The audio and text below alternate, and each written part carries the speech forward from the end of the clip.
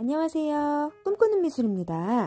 4월은 과학의 달이라는 것은 학교나 유치원에 다니는 아이들과 부모님, 선생님 분들은 대부분 잘 알고 계실 텐데요. 과학 상상화 그리기, 글짓기, 만들기, 발명대회 등 과학과 관련된 행사가 참 많기 때문인 것 같습니다. 오늘은 그중 학교에서 가장 많이 하고 있는 과학 상상화 쉽게 그리는 방법을 알려드리려고 합니다. 아이가 그린 아이디어 스케치를 활용하여 그리는 과정을 보여드리면서 이에 대한 자세한 설명 및 꿀팁을 알려드릴 거예요. 그림을 그리면서 차근차근 설명드릴게요. 이 그림은 세월호 7주기를 추모하며 과학의 발전으로 로봇이 재난 상황에서 사람들을 구조하는 장면을 그린 그림입니다. 아이들은 그림으로 표현하기 어려운 부분은 그림에 글을 써서 표현하는 경우가 많습니다. 이 그림을 그린 아이도 저에게 그림을 보여주면서 어떤 어떤 내용으로 그리고 싶은지 말로 설명해 주었습니다. 지금부터 아이의 생각과 그린 그림을 반영하여 함께 그려볼게요. 주인공인 로봇부터 그려볼게요. 과학 상상화는 대회 형식으로 하기도 하고 수업 시간에 그림을 그려서 전시를 하기도 하는데요. 여기서 잠깐 아이들이 상을 받게 하기 위해서 이 영상을 제작한 것이 절대 아님을 미리 말씀드리겠습니다.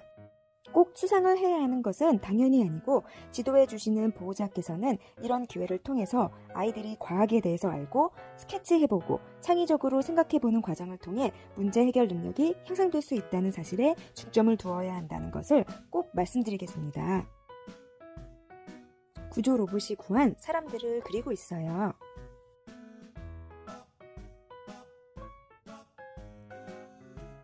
졸라맨처럼 그린 사람들은 아이를 업은 엄마의 모습으로 표현하고 싶다고 하더라고요. 어떻게 표현해야 할지 몰라서 저렇게 막대기처럼 그렸다고 합니다. 이렇게 아이와 함께 이야기하면서 같이 그려주세요. 그럼 이쯤에서 과학상상화 그리기 비법을 알아볼게요. 과학상상화 그리기는 시간 제한이 있습니다. 시간 안에 완성을 해야 하기 때문에 재료의 선택이 중요합니다. 선명하고 채색이 용이한 크레파스나 색연필을 주로 사용하고 배경은 수채화 물감으로 한 번에 칠해주는 것이 효과적인 방법입니다. 학교마다 재료를 정해주는 것도 있으니 꼭 확인해주세요. 대부분 크레파스나 색연필, 수채화 도구를 크게 벗어나지는 않는 것 같습니다. 헐크처럼 손으로 구한 사람들도 그려보고 싶다고 해서 로봇의 손과 사람들을 그리고 있습니다.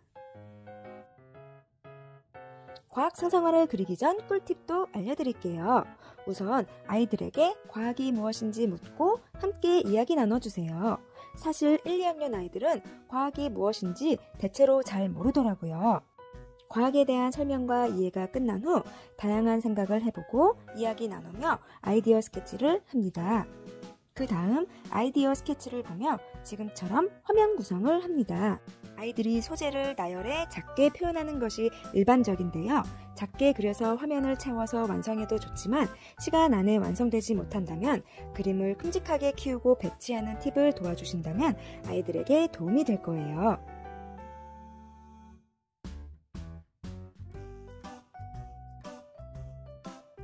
반대편 로봇팔도 표현해 볼게요. 공간 이해가 되지 않은 아이들에겐 어려울 수 있으니 그럴 땐 겹치지 않은 팔로 그려주는 게 좋겠죠? 반대쪽 손은 배를 들어 올린 모습으로 표현했네요.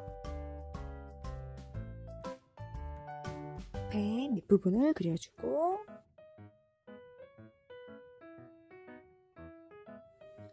앞머리 부분과 몸통 부분도 그려볼게요. 난간도 표현해주고요.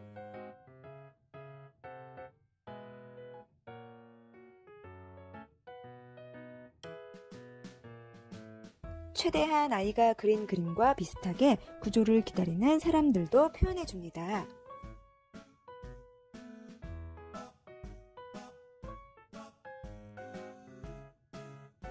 로봇에 두 손뿐만 아니라 스프링이 있는 팔이 또 있어서 구조하는 모습이 아이다운 재미있는 표현 같네요. 그런데 머리를 잡아서 구조를 하네요.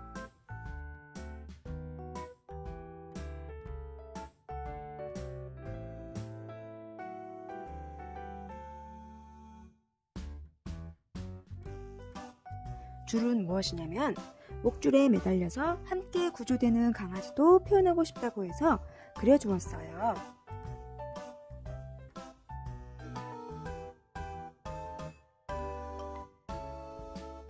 글씨는 한눈에 보이도록 크게 써줍니다. 나머지 부분은 배라는 것을 알 수 있도록 창문이나 난간 등을 그려주세요.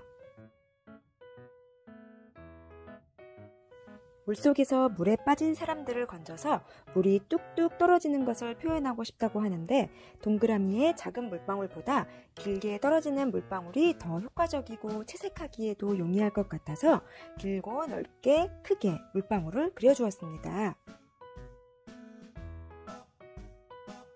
물속이라는 것을 알 수 있도록 물고기도 표현해 주었다고 하네요. 물고기의 모습도 아이가 그린 물고기와 비슷하게 그려주었어요.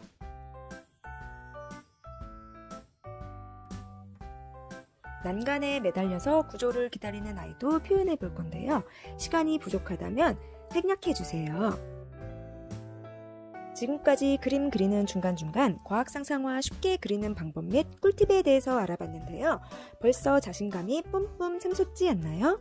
이 영상을 보고 계신 부모님이 계시다면 이번 기회에 아이와 과학에 대해서 알아보고 소통하는 의미 있는 시간이 되시기를 바랍니다.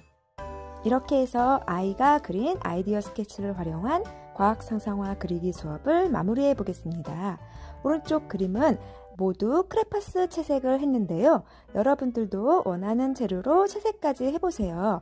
그럼 다음 시간에 더 유익한 수업으로 만나요. 안녕! 구독, 좋아요도 부탁드릴게요.